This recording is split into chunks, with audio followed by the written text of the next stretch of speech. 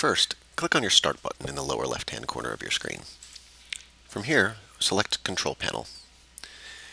In the Control Panel, you'll want to go to Network and Internet Connections. On the Network and Internet Connections screen, select Network Connections. Here we have some network interfaces listed. We're going to right-click on the one that says Local Area Connection Connected.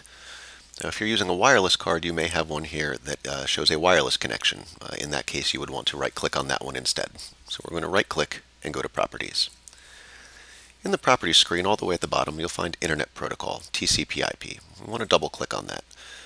Now that brings us to a screen where we can uh, change some settings, and we're going to go to the bottommost radio button here, the one that says Use the following DNS server addresses. In here, for the primary DNS server, preferred DNS server, enter 8 8.8.8.8. So four eights, and make sure there's a dot in between each one of them. For alternate DNS server, enter 8.8.4.4 and click OK. Click OK on the local area connection properties screen. Close up your network connection screen, and you should be set.